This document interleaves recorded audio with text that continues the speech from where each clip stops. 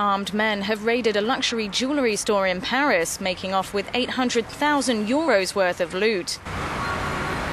According to witnesses, the robbers entered the jewellers near the iconic Place Vendôme in Paris and threatened the staff before taking around 20 watches.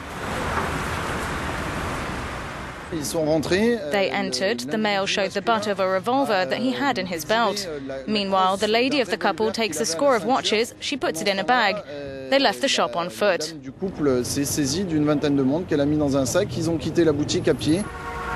It's the latest in a string of high class heists on French jewelers in recent months.